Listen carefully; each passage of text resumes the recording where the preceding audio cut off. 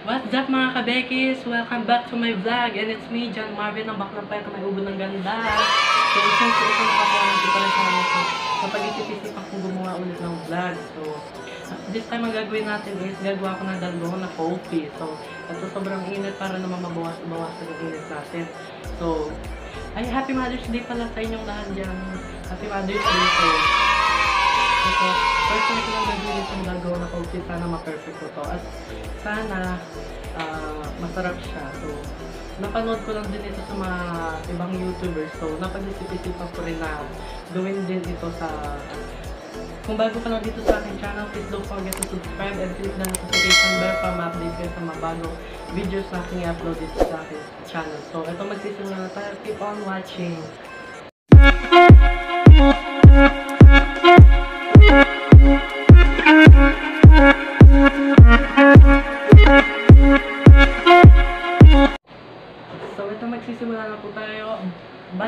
Before that, so ipapakita ko muna sa inyo yung mga ingredients na kailangan.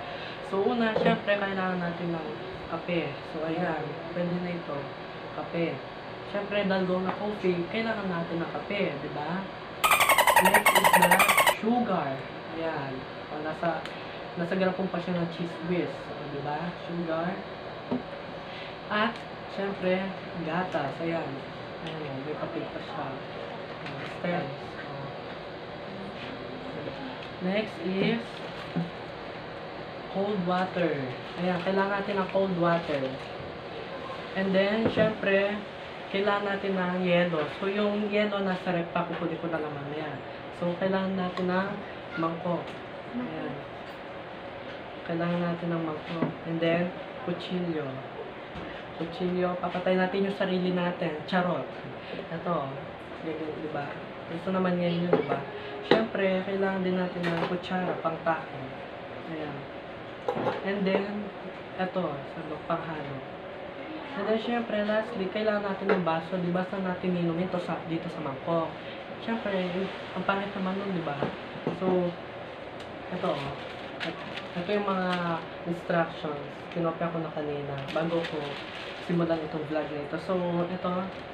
So, sabi dito, um, ingredients. 2 tablespoon sugar. And then 2 tablespoon instant coffee. 2 tablespoon cold water. And 1 for 1 ice for serving. And milk for serving. Also, directions. In a medium bowl, combine sugar, coffee, and water. Okay?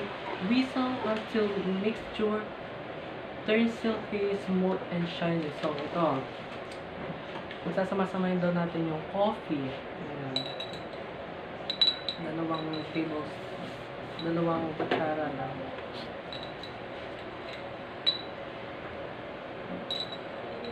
Hmm. Ayan, dalawang kutsara. Ayan. Ayan. Hmm, nakikita nyo. And then, dalawa ring, dalawa ring, dalawa ring kutsara ng sugar, asukal.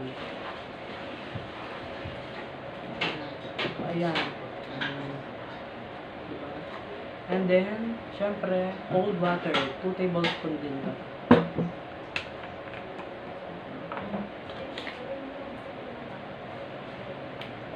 Hmm, Dalawa lang.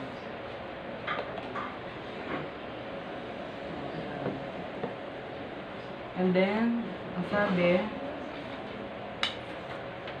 haluin daw natin. Haluin daw natin hanggang sa maging ano, smooth siya, lumapot, hanggang sa lumapot. So, ma- medyo, matagal-tagal po. O, ayan. So,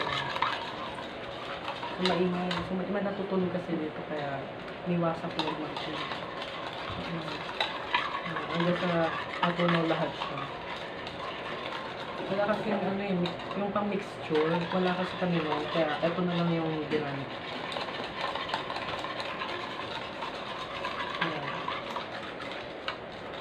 O, diba? Matagal siya. Matagal siyang ano yun, mapanaputin. So, kailangan talaga dito na ano, ng pang-mixture talaga. So, titikman natin. Charot. Kagad. Mapait.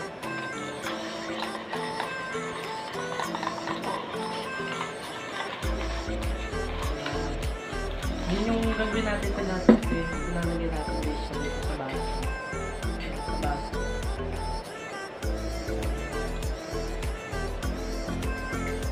Hintayin lang natin siya makakapag. Hintayin lang natin siya makakapag.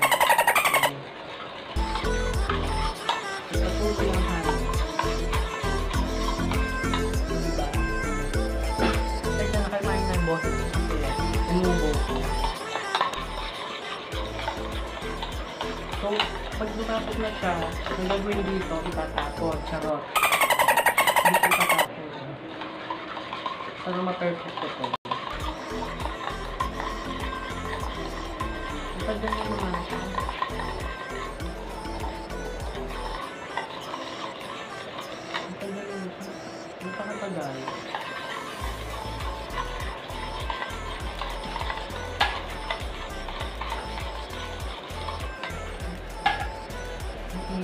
Sobrang init, no?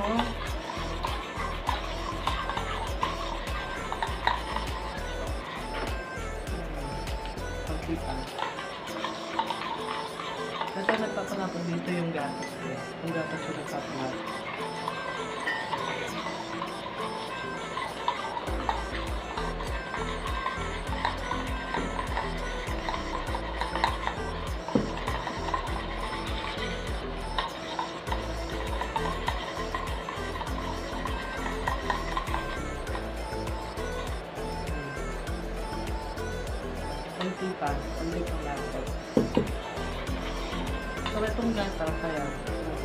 Itong gatas dito lang. Diyan lang siya. Kasi, basta panoorin nyo agad dito.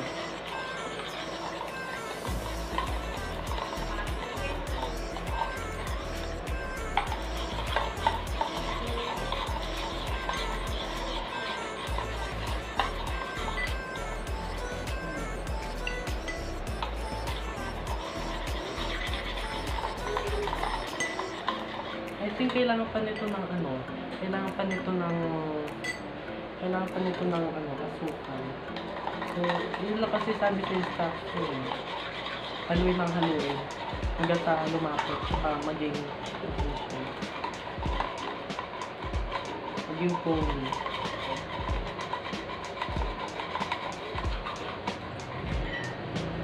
Kasi ang ginamit ko lang na kape dito yung black coffee eh. Yun lang. Pwede na siguro yun. Yung baka barako eh. Hindi gagana.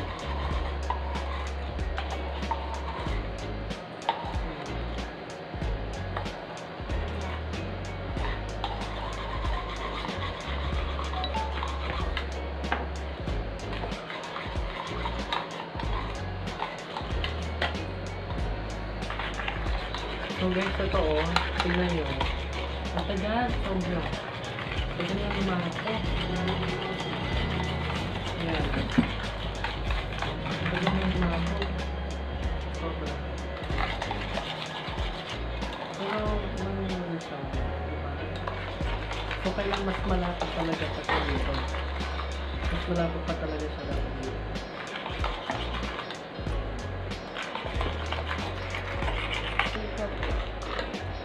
So, next direction. Ayan. Then continue whisking it thickens and holds its softly foamy and shape, sabi. So, ito, nagawa na po natin. So, number two. Fill a glass most the way, full with ice and milk, then and swirl the whipped coffee mixture on top.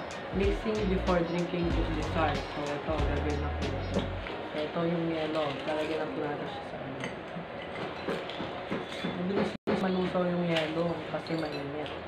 Ayan. Ayan. Ito po. Ito. So, sobrang lapit na niya. Na po natin siya sa. Sandali.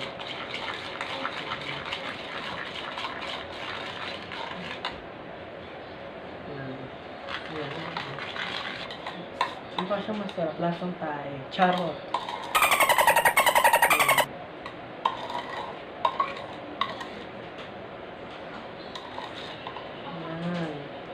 So, may yellow na po ito. Hindi lang po siya halata. Ayan. Na po siya. So, this is the Dalgona Coffee. So, ito yung final look po na.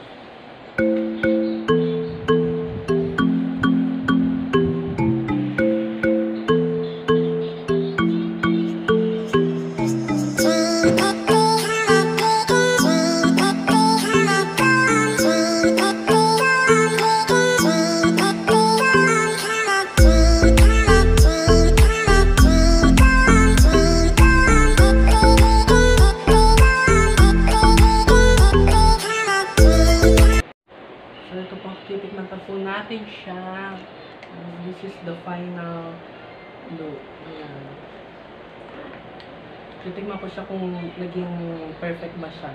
Kung perfect nga ba yung pagkakalaman. Hmm. Charot. Pa- para siya ano. Tingin ko, ano, masarap siya.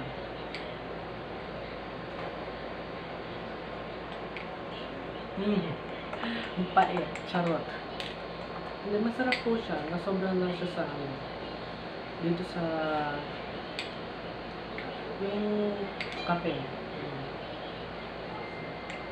Pero masarap siya. Sumobra lang siya sa asukal. Kasi sobrang tamis na. Masarap na.